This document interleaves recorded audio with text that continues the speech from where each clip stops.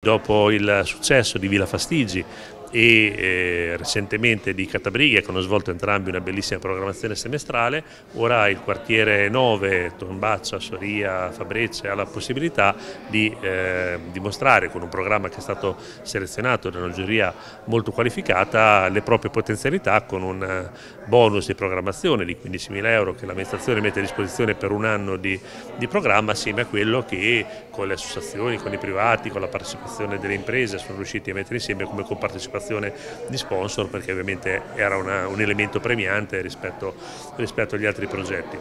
Un progetto di cui siamo molto felici perché si centra sulla musica, sulla musica legata anche all'accessibilità, l'associazione capofila è Libera Musica che abbiamo conosciuto da tempo, non sarà l'unico soggetto, il Teatro Accademia, anche eh, la Ginestra del San Bartolo, insomma la Fondazione Setacea hanno fatto sistema delle migliori realtà che operano all'interno del, del, territorio in tutto, in tutto, il periodo dell'anno e anche altre che magari riusciranno ad aggregarli. Quindi complimenti al quartiere vincitore, complimenti anche a quelli che hanno partecipato senza vincere questa volta perché il bando è molto complicato e selettivo proprio perché vuole essere anche una crescita del, del sistema culturale della città e sicuramente abbraccerà parte del percorso di avvicinamento alla capitale italiana della cultura, quella grande diciamo 2024. Avevamo mm, speranze ma non eravamo ovviamente certi di questa vittoria